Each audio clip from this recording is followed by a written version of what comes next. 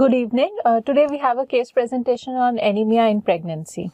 Is X, a primary of 24 years, hailing from Chennai, of lower middle class family, belonging to Kuppuswamy class of 3, with a last menstrual period on 8th of July 2021, with her estimated uh, delivery date on 14 4 2022, with gestational age of 38 weeks plus 3 days, came to OPD with complaints of easy fatigability for the past 2 days, perceiving fetal movements well.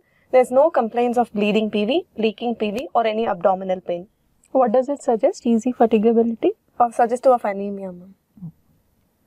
There's complaints of uh, breathlessness, which is sudden in onset, which is not relieved by any medication. There's no complaints of blurring of vision, epigastric pain, decreased urine output. There's a complaint of uh, bilateral leg swelling for the past one week. There's no history of any elevated BP. Why did you ask history of blurring of vision, epigastric pain, and decreased urine output? To rule out uh, gestational hypertension, ma'am. Okay. And pedal edema, you know the causes? Uh, because it can either be of anemia or uh, in case of any proteinuria, in case of uh, elevated BP, ma'am, preeclampsia. Yeah. So it can be physiological or, Or pathological. pathological. So physiological is because of the compression of the IVCs due to the gravid uterus. ma'am. compressing on the IVC, and the pathological edema is because of preeclampsia. Preeclampsia. Then Anemia and failure. anemia and failure, congestive heart, Heart failure, right-sided. Then uh, renal disease, hypoproteinemia, and myxedema. Uh, menstrual history patient had a regular 3 by 30 day cycle. Uh, she changed to 2 pads per day. There is no history of any passage of clots. Marital history she is married for 1 year. It's a non consanguineous marriage.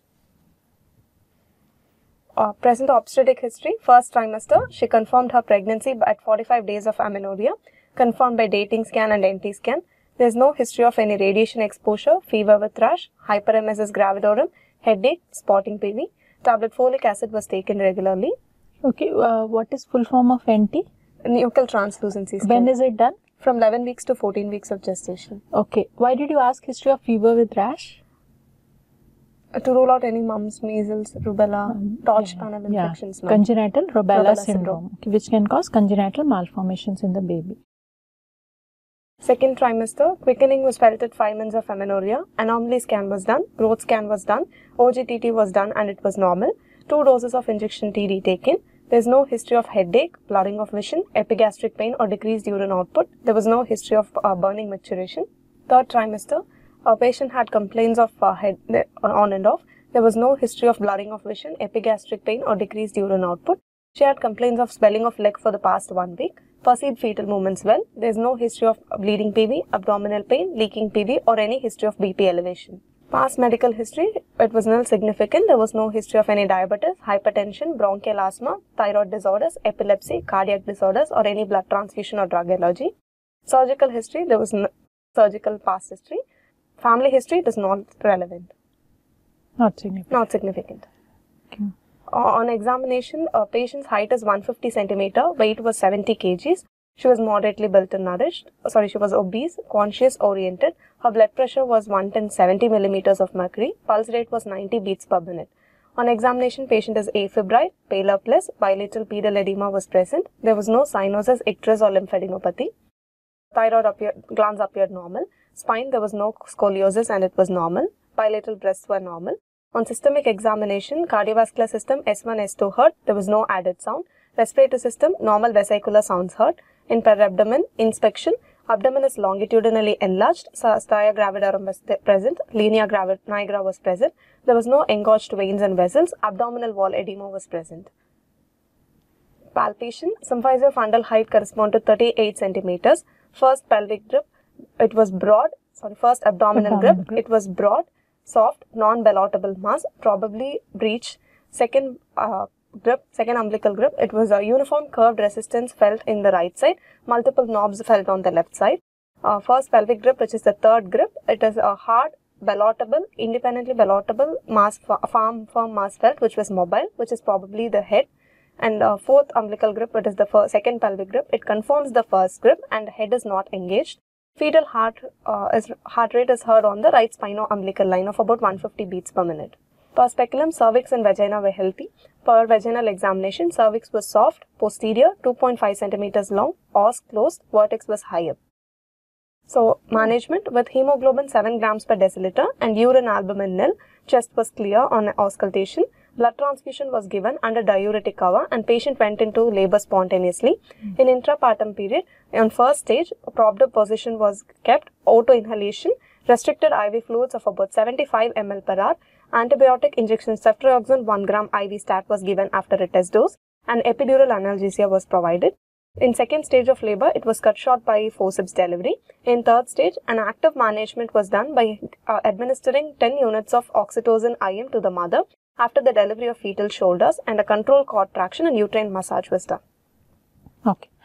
So, uh, what is your provisional diagnosis? Uh, a 24 year old primary gravida at 38 weeks of gestation with moderate anemia with good fetal heart sounds and not in failure. Not in failure. Okay. So, can you define anemia?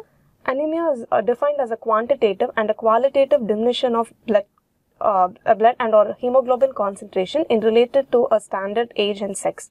The standard definition of uh, World Health Organization for the diagnosis of anemia in pregnancy is when hemoglobin concentration is lower than 11 gram per deciliter.